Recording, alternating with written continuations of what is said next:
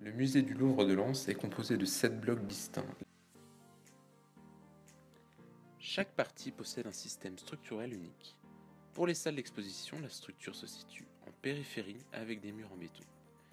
L'éclairage s'effectue de façon zénithale. Le hall, quant à lui, est entièrement vitré en façade. Des poteaux à intervalles réguliers reçoivent les efforts de toiture.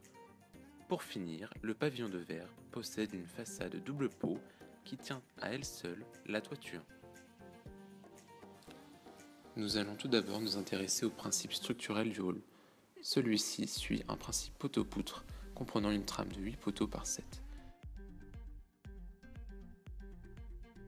Ils assurent la descente de charge jusqu'au sol des poutres qui soutiennent la toiture. La façade de verre autoportante est fixée à des poteaux métalliques puis à des agrafes. Permettent d'assurer la stabilité de la façade lorsque celle-ci est soumise au vent. Le vitrage est quant à lui constitué de panneaux de double vitrage de 1,50 m par 6 m. Il est composé de verre trempé et de verre feuilleté. Comme expliqué précédemment, la structure poteau-poutre assure le soutien du toit. Le sol est composé d'une dalle béton, d'un isolant et d'une chape en finition. La toiture s'efface dans le paysage. En effet, celle-ci est placée en recul de la façade. La toiture est composée d'une couverture en aluminium, d'un isolant, puis d'un faux plafond suspendu en métal perforé qui permet de dissimuler la structure et les gaines techniques. Elle est inclinée pour permettre la récupération des eaux de pluie dans le chenot. Il y a également un système de récupération des eaux de pluie au sol. Dans la galerie du temps, le regard s'élève.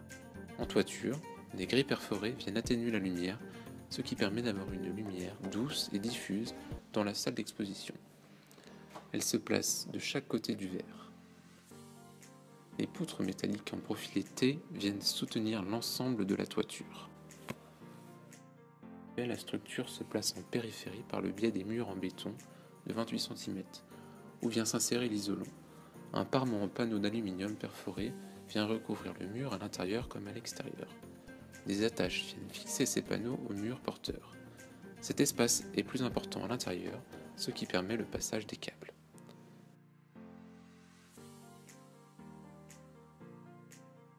La toiture est inclinée pour permettre la récupération des eaux de pluie dans le chenot. Suite à l'étude du bâtiment, nous avons conclu que les architectes japonais ont mis un point d'orgue à ce que la toiture s'efface.